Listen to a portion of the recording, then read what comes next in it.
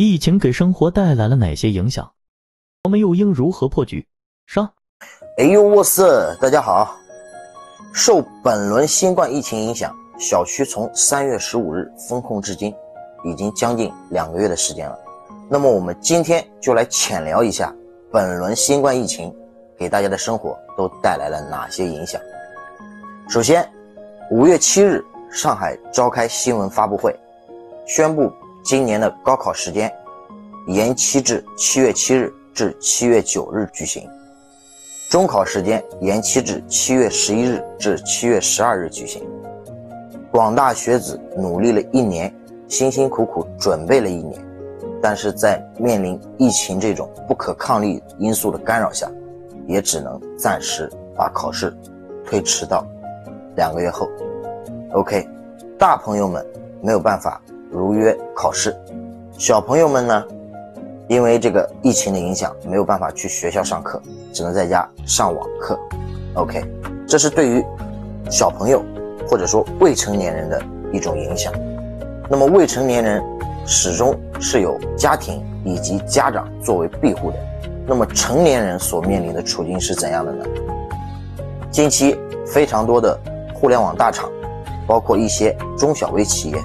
都面临了非常严峻的生存危机，一些互联网大厂纷纷开始裁员、降薪，那么中小微企业的处境更加的困难。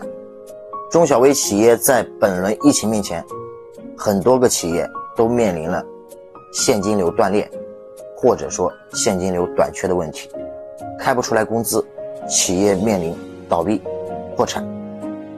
再者，还有一些从事无保障薪资岗位的人员，一天不上班就面临着一天没有工资，他们的生存压力显而易见是更大的。一天不复工，但是你的房租不能一天不交，你的贷款不能不按时去履行还款义务，那饭每天也要去吃，正常的开销一分钱没有少。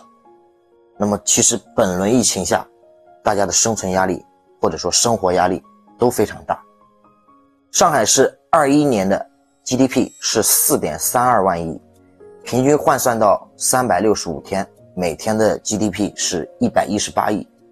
假设我们本轮疫情，那对上海的这个静默时间是两个月的时间，也就是六十天。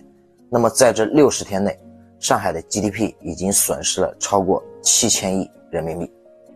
其实对于这座城市，或者说对于我们每个在这个城市务工的人员，其实影响都是非常深远的。那么，在面临如此严峻的生活压力，或者说现实处境的情况下，我们又要如何去进行破局，或者说是如何寻找新的突破点，去缓解自己的经济压力以及生活压力呢？关注我，下期教你。如何破局？